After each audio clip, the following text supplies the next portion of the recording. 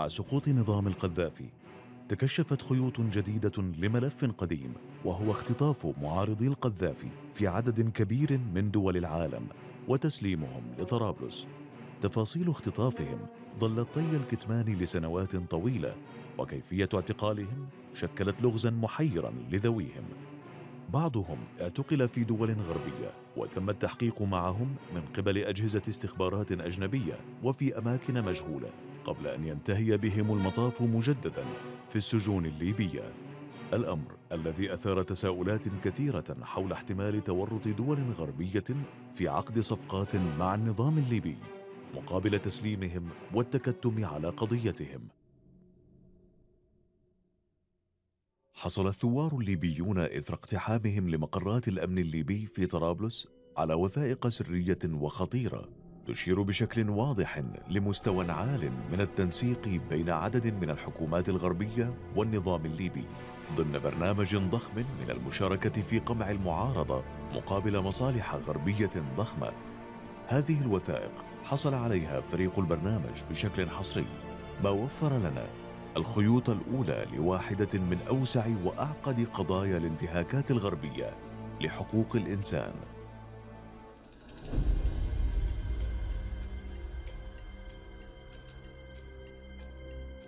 إثر أحداث الحادي عشر من سبتمبر تم التضييق على الجهاديين العرب في باكستان وتسليمهم للسي آي اي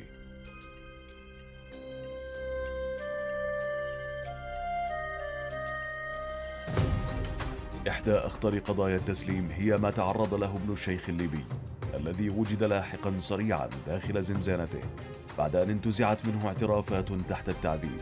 اتخذت مبررا لغزو العراق وذلك إثر تسليمه للأمن الليبي بواسطة القوات الأمريكية في أفغانستان عبر رحلة سرية إلى مطار معيتيقة في طرابلس. لكن الصور الحصرية التي حصل عليها فريق العمل لجثته تضع علامات شك كبيرة حول فرضية انتحاره. خيوط البحث. قادتنا إلى واشنطن حيث مقر هيومن رايتس ووتش للقاء الخبراء الذين التقوه قبل أيام قليلة من وفاته وينظرون بكثير من الشك والريبة حول رواية انتحاره. إن قضية ابن الشيخ الليبي تعد إحدى أكثر القضايا إرباكاً. فكما نعرف فقد اعتقلته الولايات المتحدة بشكل غير قانوني وتم تعذيبه بوحشية في كل من الولايات المتحدة وفي السجون المصرية. وأفضى ذلك التعذيب إلى معلومات استخبارية مغلوطة. تم استخدامها كذريعة للذهاب إلى الحرب في العراق. ونتيجة تلك الحرب فقد العديد من العراقيين المدنيين والقوات الأمريكية حياتهم إنها قصة محبطة إذ تقدم دليل دليلا ملموسا أن التعذيب يفشل في الوصول إلى الأدلة وأنه أنتج معلومات مغلوطة في كثير من الحالات. المخابرات الباكستانية طبعا سلمت ابن الشيخ وجماعته إلى المخابرات الأمريكية. الاتهامات الموثقة للحكومة الأمريكية بالضلوع بعمليات الاختطاف كشفت وراءها سلسلة من الاتهامات المعززة بالأدلة وأولها كما حصل مع ابن الشيخ الليبي واتهامات التعذيب التي ارتكبت عبر وكلائهم وتحت إشرافهم كما حصل في كابول في سجن الظلام هددوه بعدة أشياء من ضمنهم. يا هو يحترف لهم بأشياء هم يبوهن أو شنو علاقته بتنظيم القاعدة أو بالشيخ أسامة بن لادن؟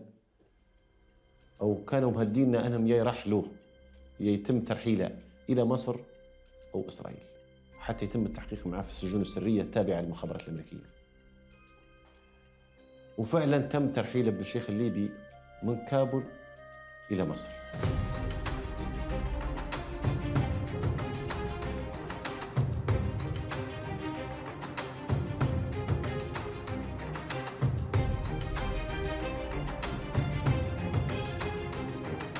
والإخوة في مصر طبعا المخابرات المصرية كانت بقيادة عمر سليمان.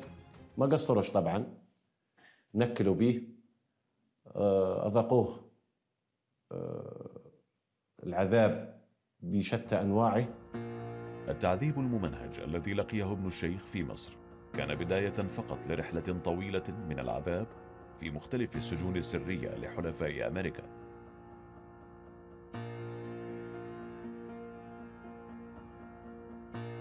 على مدى خمس سنوات تم نقل ابن الشيخ بين سلسلة من سجون التعذيب السرية حول العالم بدءا من أفغانستان إلى مصر وعودة إلى أفغانستان فالمغرب فغوانتنامو فألاسكا وصولا إلى أوكرانيا إلى أن تحصلوا منا على على على اعتراف تحت التعذيب والتهديد إن في علاقة مزعومة ما بين القاعدة وما بين نظام صدام حسين.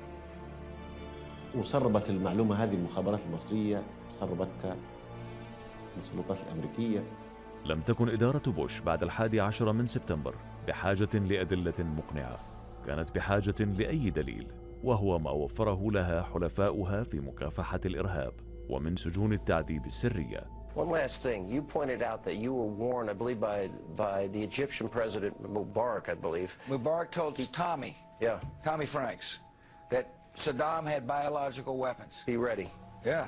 Look, everybody thought they had them. The international community has clearly demonstrated that it is fed up with a, a, a process which has been going on for 12 years, trying to disarm Iraq from its weapons of mass destruction.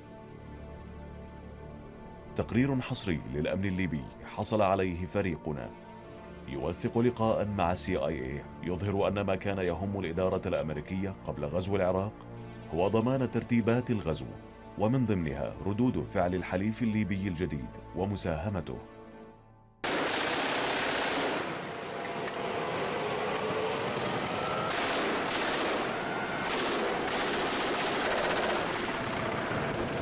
بعد الاحتلال الأمريكي للعراق ألقى النظام الليبي بكل أوراقه وسلم برنامجه النووي البدائي السري طوعا للولايات المتحدة. عربونا لقبوله في نادي مكافحة الإرهاب.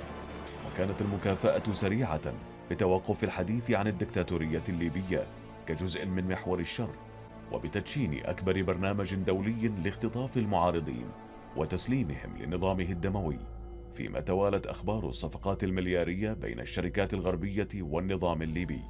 وهي الصفقات التي حاولت الحكومات والشركات الغربية إخفاء خيوطها لاحقا.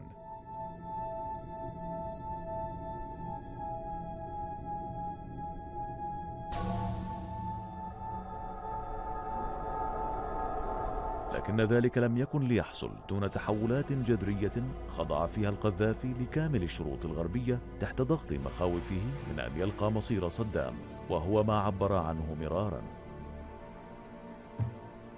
تجي قوة أجنبية تحتل دولة عربية وتشنق رئيسها وإحنا نتفرج عليهم ونضحك في محضر سري داخلي للأمن الليبي حصلنا عليه يظهر أن التعاون الأمريكي الليبي بدأ مبكرا. في فندق قرب مطار روما بحضور عدد كبير من أجهزة الاستخبارات الغربية. تعزز التقارب بين البلدين في أعقاب الحادي عشر من أيلول سبتمبر. فقد عقدت الاستخبارات البريطانية اجتماعا مع موسى كوسا بعد أسبوع من الحادي عشر من ذلك الشهر. وبعد تشرين الثاني نوفمبر عقد مسؤولون من الاستخبارات البريطانية والليبية لقاء قمة امتد عدة أيام في فندق أحد المطارات الأوروبية. حضره أيضا مسؤولون من الاستخبارات الألمانية والنمساوية. وكان هناك اتفاق عام في تلك المرحلة بأن الليبيين قد يكونون مفيدين للغرب. نشرت منظمة هيومن رايتس ووتش الدولية في 2012 تقريرا مطولا تؤكد فيه تورط عدة حكومات غربية بتسليم معارضين للقذافي. بعضهم كان في سجن غوانتنامو الأمريكي. وهو ما يتوافق مع وثائق حصرية لتسليم معارضين مختطفين. يشكر فيها موسى كوسا رئيس جهاز الأمن الخارجي الليبي نظراءه الغربيين على تسلم البرتقال الذي أرسلوه له عبر الطائرات العسكرية السرية. بدأت اتفاقية بين البريطانيين والليبيين لتوظيف عملاء مزدوجين. عملاء ليبيين للتجسس على القاعدة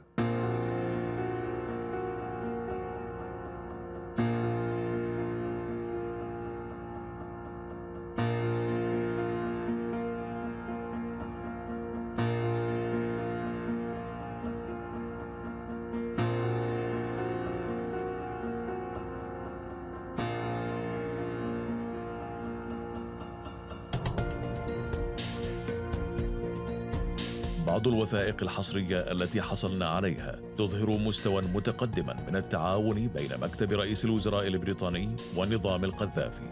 وخلف عبارات الصداقة والحميمية في المراسلات هناك إشارات إلى تفاهمات ومصالح مشتركة ضخمة تتطلع الحكومة البريطانية لتطويرها.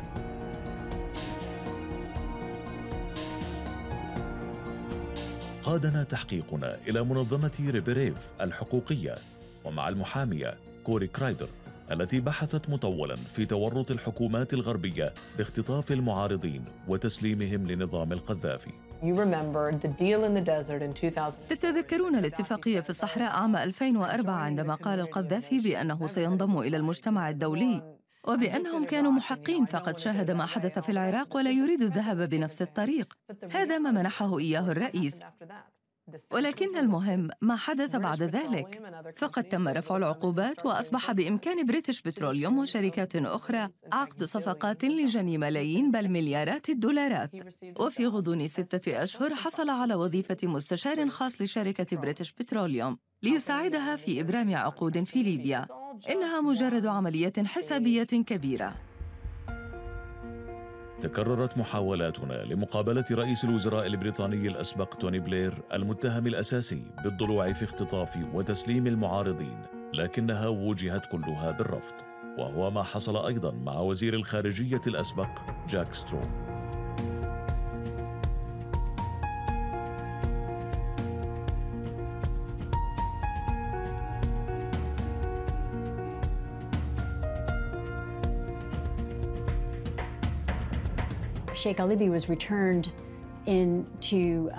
تم إعادة ابن الشيخ الليبي إلى السجون الليبية. وكما تعرفون فقد التقيناه قبيل أسبوعين من انتحاره المفترض. وعندما حدث ذلك أثرنا علامات الاستفهام حول ظروف موته.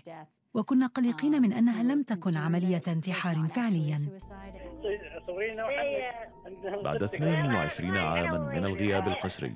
سمح لابن الشيخ بزيارة وحيدة لعائلته. كان يبدو سعيدا ومتفائلا ولم تتوقع عائلته ابدا أن تسمع خبر انتحاره في زنزانته بعد أسبوعين. كان لقاء عاطفي جدا جدا جدا. يعني لدرجة إني إن كان خليط من البكاء ومن الفرح ومن الدهشة ورحمة الله عليه يعني كان يقول أنا لم أتوقع أن يزورني حد بعد هالمدة ولا أني أشوف حد من العائلة يعني.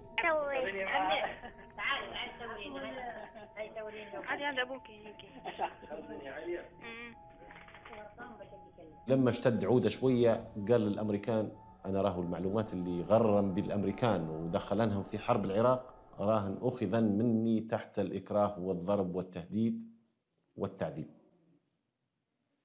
طبعا الأمريكان هنا ثارت الثائره بتاعهم وجم غضبهم صبوا على ابن الشيخ الليبي. حاولوا الأمريكان أنهم يستدركوا الموضوع وأنهم يرغموه عليه مواصلة نفس المعلومة. هو رفض طبعا. ورجعوه لسجن كابول مجددا. وكان يسمى سجن الظلام لأن من شدة الهول والعذاب اللي فيه كان يسمى سجن الظلام.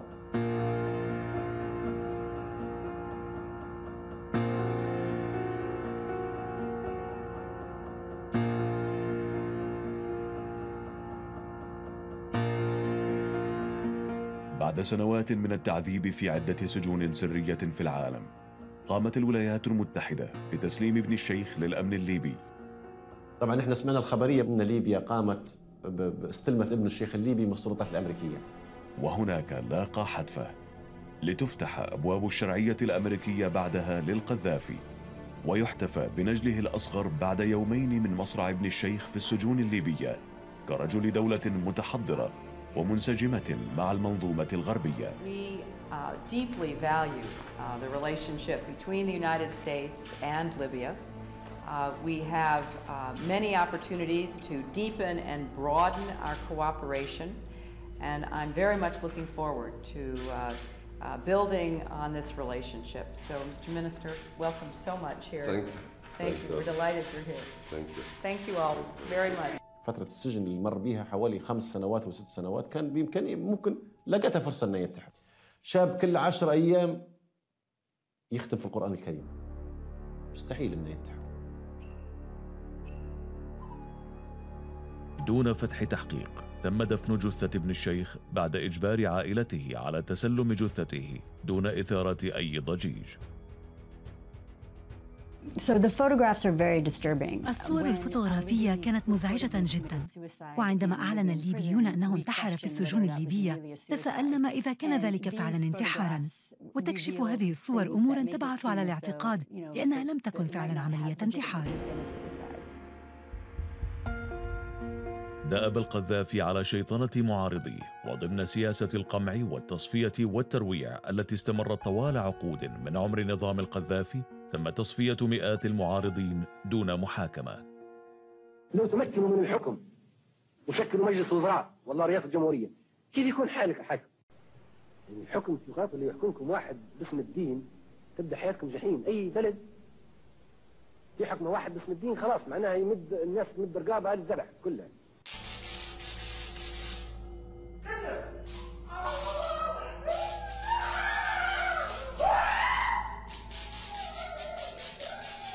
لكن الذبح وما شاكله هو ما كان يحصل فعلا في السجون الليبية وبمعرفة الدول الغربية التي واصلت اختطاف المعارضين وتسليمهم للقذافي واستمرت بالاستفادة من دموية أجهزته في محاولات ربط غير أخلاقية لتبرير قراراتها السياسية كالربط بين صدام والقاعدة من جهة والقاعدة والجماعة الليبية المقاتلة من جهة أخرى.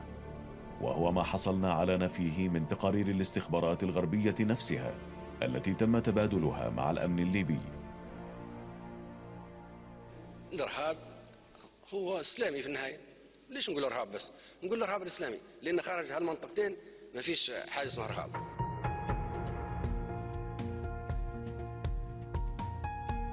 لم يقتصر الدفق المالي الليبي لحكومات الغرب على العقود المليارية الحصرية للشركات البريطانية والأمريكية. بل تعداه إلى الدعم المباشر كما حصل مع الحملة الانتخابية للرئيس الفرنسي ساركوزي والتي دعمها القذافي بخمسين مليون يورو تم استقباله بعدها كضيف كبير في عدة عواصم أوروبية بعد سنوات طويلة ظل يوصم بها كدكتاتور دموي وعضو أصيل في محور الشر.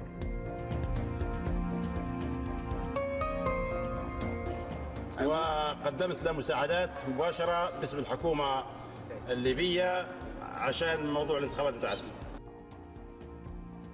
في طرابلس وصلنا لمقر إقامة كل من عبد الحكيم بلحاج وسامي الساعدي القياديين المؤسسين في الجماعة الليبية المقاتلة المعارضة للقذافي حيث سرد عملية الاختطاف والتسليم والخدعة التي تعرض لها من الحكومة البريطانية. في هونغ كونغ احتجزت في المطار حوالي عشر أيام أو أسبوعين آه، مع تحقيق مستمر.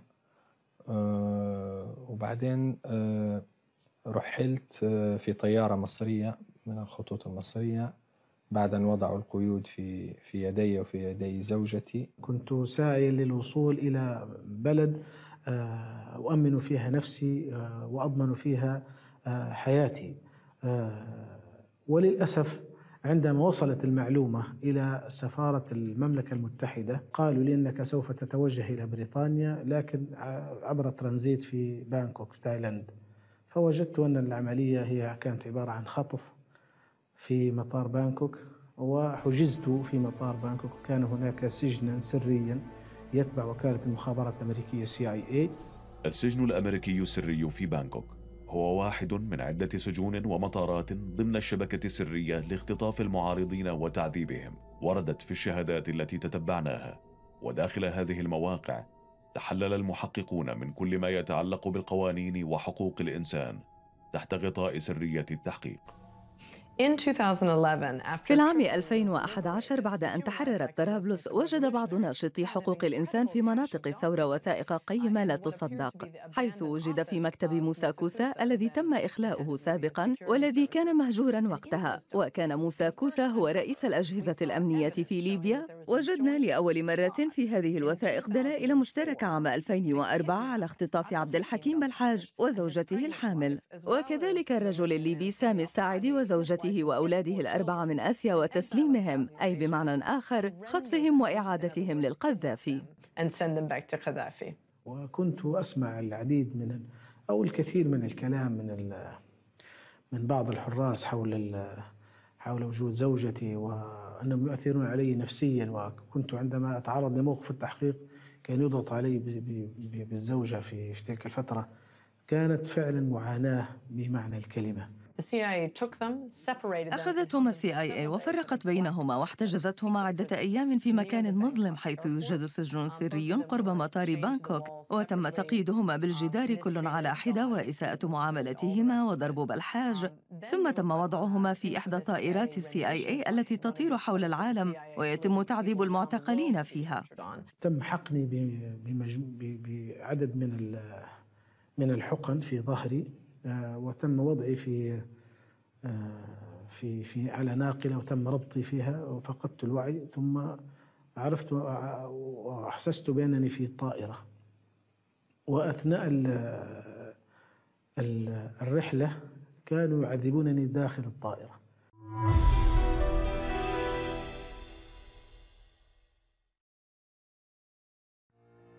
آخر حلقة من حلقات السجون والمطارات السرية بالنسبة للمعارضين الليبيين.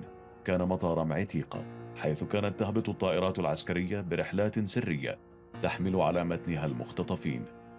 ومن هناك إلى جحيم معتقلات القذافي وبمعرفة ومشاركة جهازي السي آي اي والإم آي 6 تورط الأمريكيون بعد أحداث الحادي عشر من سبتمبر بإجراء تسليم المطلوبين أي اعتقال واختطاف أشخاص من عدة أماكن ووضعهم على ظهور طائرات ليتم تعذيبهم. القوانين الغربية لم تمنع حكوماتها من تسليم المقيمين لديها لحكومات دكتاتورية رغم كونهم معارضين سياسيين وجرى تجاوز هذه القوانين بحزمة إجراءات سرية بحجة مكافحة الإرهاب. وعبر اتفاقات سرية حجبت عن الجمهور فيما استمر اختطاف وتسليم المعارضين الليبيين لما يقرب من عشر سنوات. اعترفت الحكومة البريطانية بأن السي آي اي استخدمت ديوغو غارسيا وهي منطقة تابعة لبريطانيا مرتين في عام 2002 لهبوط طائرات التعذيب وادعوا بأن المختطفين في الطائرة لم ينزلوا منها. وهناك شكوك كبيرة بأن استخدام ديوغو غارسيا لم يكن إلا في هاتين المناسبتين. لم تقل الحكومة البريطانية سوى أنه لم يتوقف في دييغو غارسيا. لم يذكروا شيئا عن الحقيقة. فقد قالوا لا تقلقوا لم يتوقف على أرض بريطانية.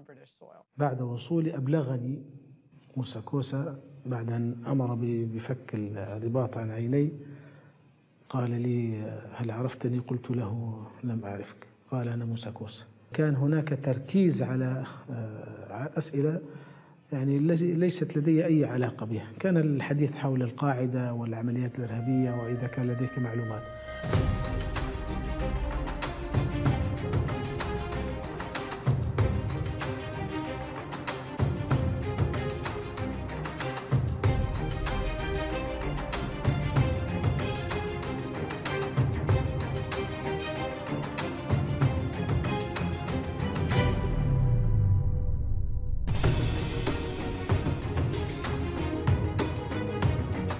كثرت التحقيقات ووفرت المعلومات من خلال التحقيقات المتعددة والمختلفة مكانا وزمانا و آه، أنا على يقين أن الحقيقة وصلت يعني.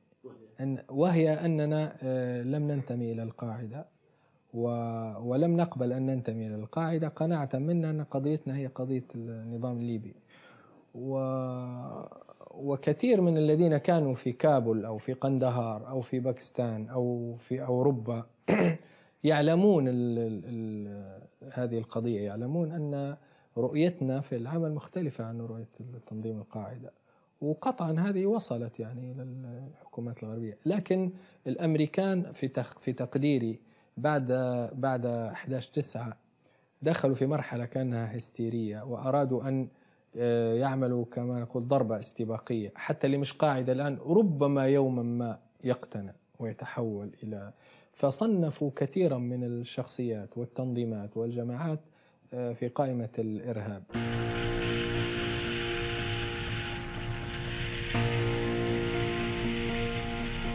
في لندن قابلنا المحامية البريطانية سابنا مالك الموكلة في قضية المعارض عبد الحكيم بلحاج. وهو من رفض الحصول على تعويض من الحكومة البريطانية وأصر على اعتذار علني عن الاختطاف والتعذيب والتسليم.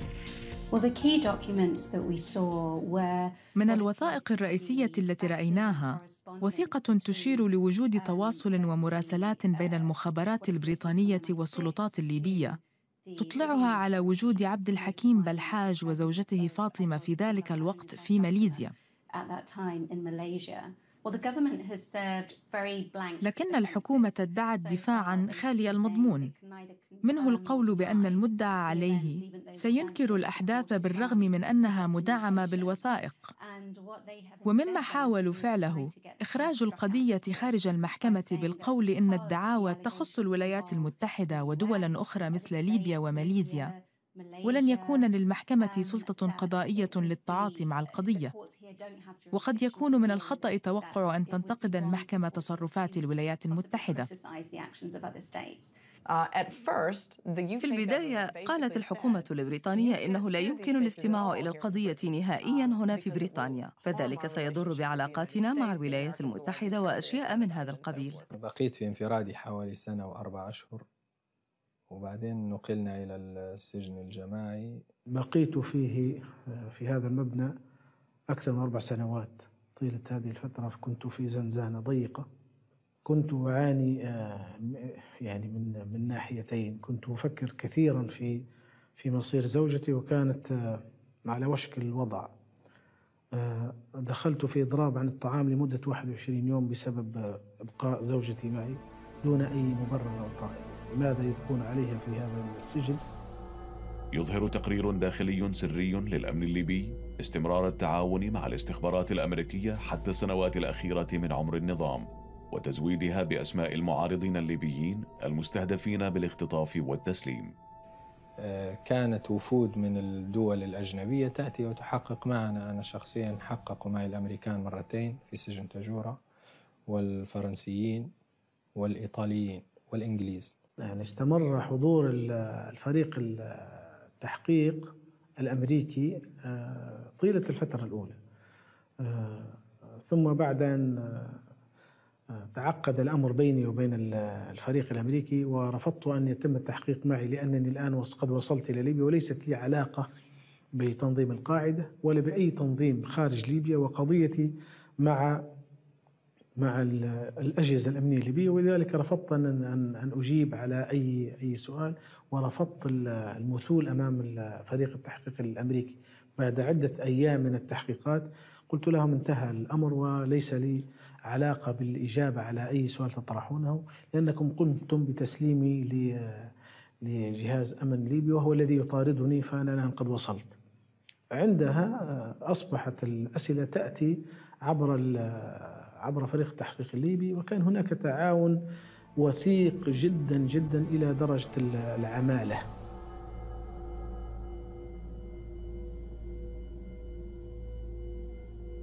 المعلومات القليلة التي تسربت إلى الصحافة البريطانية تؤكد أن الاستخبارات البريطانية تعاونت بشكل وثيق وتفصيلي مع القذافي في التحقيق مع المعارضين تحت مبرر أنهم مشتبهون بالإرهاب ثبتت براءتهم لاحقا لكن الأقسى كان أن عمليات الاختطاف شملت أطفالا من عائلات المعارضين جرى تسليمهم لأمن القذافي. اختطفت المخابرات البريطانية والسي اي اي والليبيون أطفالا بين 6 و 12 عاما وأرسلوهم إلى القذافي. يعني يكفي أن نقول أن البنت الصغيرة كان عمرها ست سنوات عندما ترى الاعتقال والقبض والكيس الأسود على وجه الأب والأم والقيود في الأيدي والتخويف والتهديد والشتم وغير ذلك. رغم أقصى أساليب التحقيق والتعذيب المستخدمة ثبتت براءة بلحاج والساعدي من تهم عمليات الإرهاب الدولي. ما اضطر الحكومة البريطانية لعرض تسوية ليشكل ذلك اعترافا ضمنيا بمسؤوليتها عن الخطف والتعذيب.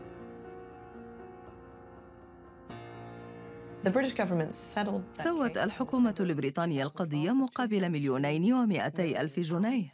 بمشورة المحامين آه، آه، رأوا أن يكتفى لأن لأن الحكومة الإنجليزية عرضت التعويض وأن يعني يقفل الملف القضية. نعرف حقيقة الأمر. والحكومة البريطانية تعرف أن هناك قضية عليها الإجابة عنها.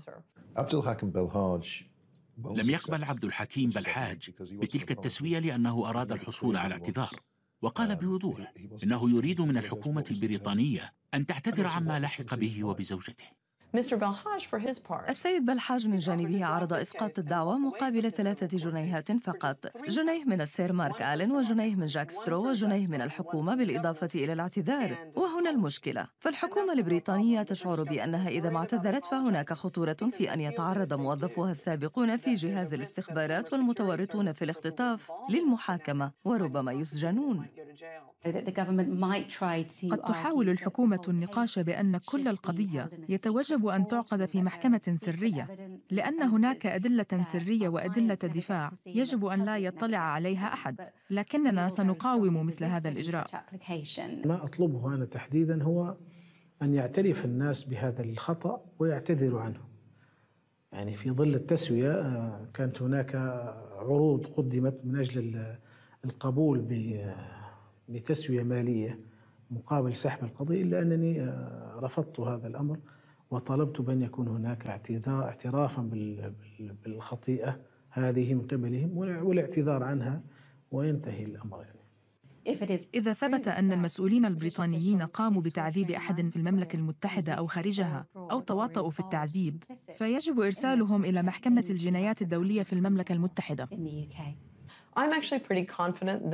أنا على ثقة من أن المحكمة العليا في بريطانيا ستقول إن الضحايا الذين تعرضوا للتعذيب لديهم الحق في التوجه للمحكمة، لكن الحكومة ستطلب دوما التأجيل، فلا يوجد حرج أكبر من أن يقوم جهاز الاستخبارات البريطاني باختطاف امرأة حامل. وإرسالها لديكتاتور كالقذافي، لا يوجد ما هو أسوأ من ذلك. ما زلنا مندهشين من أن الحكومة لم تقدم اعتذارها. وفضلت الخوض في مسار طويل وخوض معركة قضائية في محاولة للخروج من القضية. الطائرة التي رأيناها طائرة تسليم المعتقلين قيل لنا إنها في طريقها إلى دييغو غارسيا المقاطعة الإندونيسية البريطانية المشتركة. الحكومة أنكرت أن القضية هكذا وأن الطائرة قد هبطت هناك. هناك سبب كاف للاعتقاد بأن السي آي إيه قد نشرت تقريرا حجب وأخفى دلائل على استخدام دييغو غارسيا.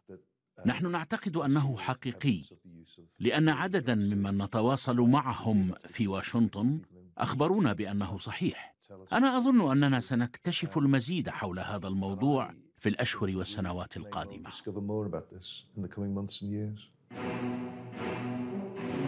مسار التسوية الذي جنحت له الحكومة البريطانية قابله تجاهل من الحكومة الأمريكية المنخرطة ببرنامج الاختطاف والتعذيب مع عدة أنظمة. ونتيجة لاستمرار البرنامج كان اختطاف وتسليم المعارضين الليبيين الشريف والمهدي للأمن الليبي بعد تحقيق قاس لأكثر من عام في أفغانستان تحت إشراف الضباط الأمريكيين وهو ما كشفته وثائق حصلت عليها منظمة هيومن رايتس ووتش الوثائق التي وجدناها في جهاز الاستخبارات الليبية كانت إشكالية جدا فهي تظهر مستوى من التعاون بين الولايات المتحدة والمملكة المتحدة والسي آي إي وتسليم عدد كبير من الأشخاص بشكل غير قانوني. أفراد كانوا من مناهضي القذافي وعادوا إلى ليبيا وتظهر مستوى عميقا من التواطؤ بين الولايات المتحدة وبريطانيا وليبيا لتسليم أفراد لقبضة القذافي. وفي الوقت الذي كنا نعرف فيه أن القذافي يسيء معاملة المعتقلين في السجون ويهينهم. قرروا في صفقة مشبوهة تسليمنا إلى نظام القذافي الذي يعتبر في نظر كثير من في نظر كثير من الشعب الأمريكي أنه أيضا عدو لأمريكا وقام بعمليات ضد الأمريكان وساهم في قتل العديد من من أبناء الشعب الأمريكي. المرأة كانت مسؤولة على التحقيق معي قالت عندما ننقلك إلى مكان آخر من الطيارة سوف تتكلمين. ونقلوني بعد فترة من من إسلام آباد إلى بغرام وبعد وبدأت آه، حياة جديدة طبعا. تؤمن الولايات المتحدة وتقدم نفسها على أنها تقف لجانب القانون وتنصاع إلى قرارات الشرعية الدولية. لكننا نعرف بأن الولايات المتحدة لا تفعل ذلك في العديد من القضايا خصوصا ما يتعلق منها بنشاطات الاعتقال. في أشياء حتى الإنسان يستحي أن يذكرها في في وسائل الإعلام يعني. تجريد من الملابس لفترة طويلة وربط في الحيط بقيت مربوط في الحيط بالحديد مدة خمسة أشهر كاملة.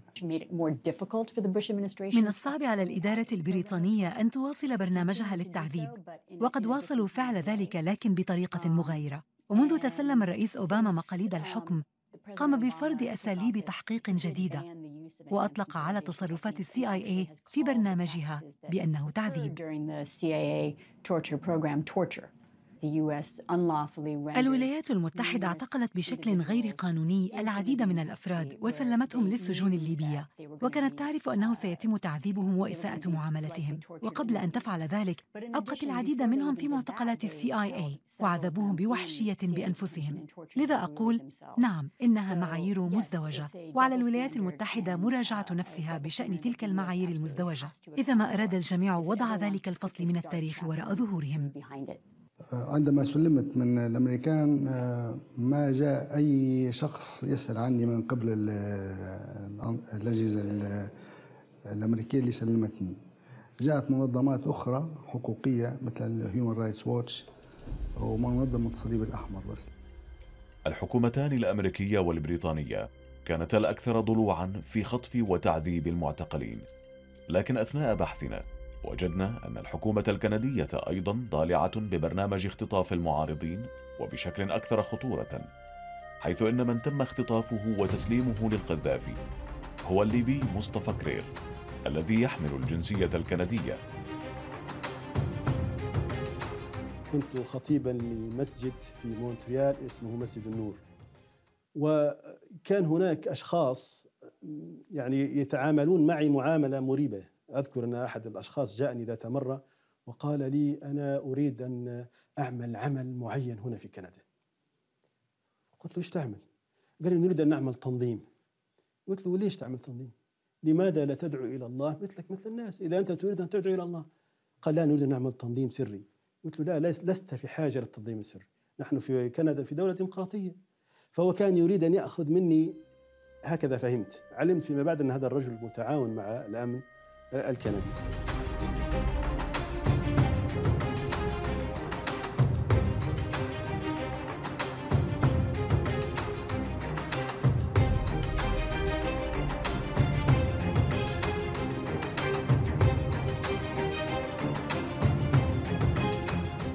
كانت الوالدة حسب ما أخبرت أنها في في المستشفى في العناية. فحز في نفسي أن أكون بعيدا وربما ظننت أن حتى الوالدة ستتوفى يعني. فقلت اللهم يعني أنا نعمل محاولة ندخل البلد طالما ذكر لي المصالحة و... وأعطوني تأكيدات أنه لن يمسني أحد وسأدخل عزيزا مكرما وأعود حيثما شئت. فلما طبعا سجنت في في في في المعتقل هنا في السكة في البداية ثم نقلت إلى عنزارة بقيت حوالي سنتين سنتين وشهرين. لا يعرفون عني أي نشاط خارج ليبيا.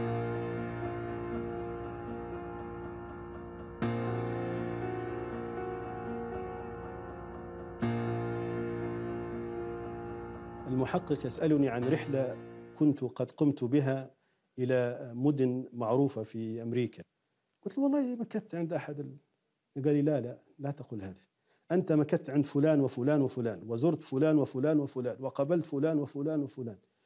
فأنا بدأت يعني أتعجب هو كل المعلومات يعرفها وفي معلومات دقيقة ليس بالإمكان لمواطن ولا مخابرات ليبية معرفتها إطلاقا.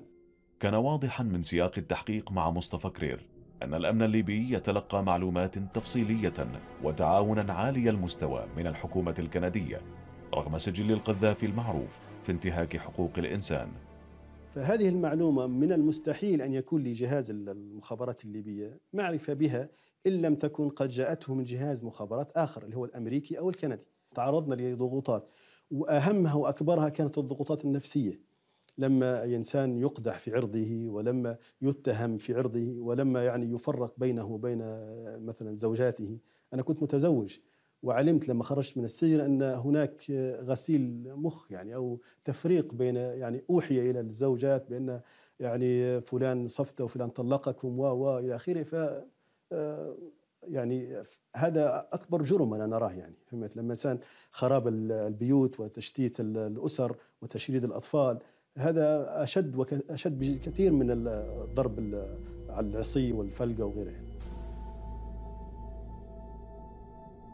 المخابرات الأمريكية بذلت معي أظن قصارى جهدها. حتى وصلت ذات مرة إن أحد المقربين مني صديق يسكن جاري وهو يعني كان يتردد عليه كثيرا قد وعدوه بمبلغ مالي. لا أعرف إن كان أعطي أم لا لكن وعدوه بمبلغ وقدره خمسة أو ثلاثين ألف دولار. وقيل له مجرد تحضر أو تأتينا بمعلومات عن مصطفى فقط. نحن نريدك أن تأتي بمعلومات وين راح وين ذهب وين مشى وين جاء. وبعدين جاء أخبرني قال يا أخي أنا لا أستطيع أن أخفي عليك أنا قد حصل معي كذا وكذا وكذا وكذا. وهو مقيم غادي وجزاه الله خير يعني هو أخبرني.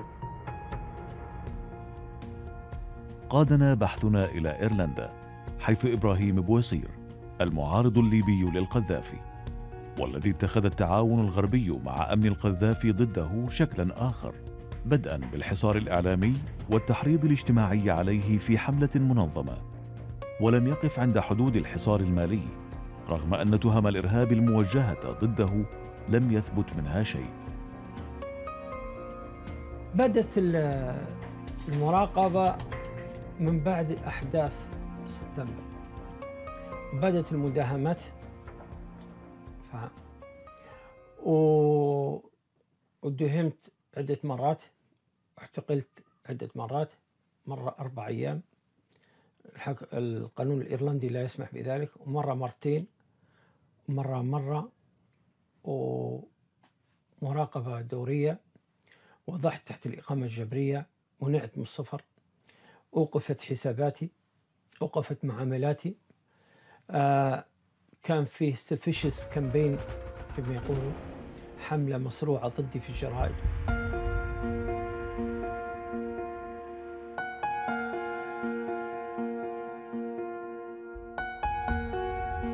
على حسب مصادري أنا اللي وصلت لهم كان في تعاون أمني بال بالأمريكان والإيرلنديين والأمن الليبي. الخارجي موسى كوسة وأمثالهم من هؤلاء المجرمين والأمن البريطاني. رغم أن بويصير ذو سجل محلي محترم ومعروف كناشط اجتماعي محبوب في محيطه إلا أن ذلك لم يمنع من استمرار حصاره رغم عدم ثبوت أي تهمة ضده. على الأقل أحوال أنا أحسن من غير. لماذا هذه البلد من ناحية تكوينتها السياسية أفضل من غيرها بحكم أنها بلد ثارت على الظلم نفسه وثاروا على الإنجليز وقوانينها ما تسمح بالتسليم. No extraditions فهم ف... فكانت هذه ميزة. أنا ما زلت أعاني بهذا الأمر. أمريكا هي الأخطبوط اللي مسيطر على جميع بنوك العالم.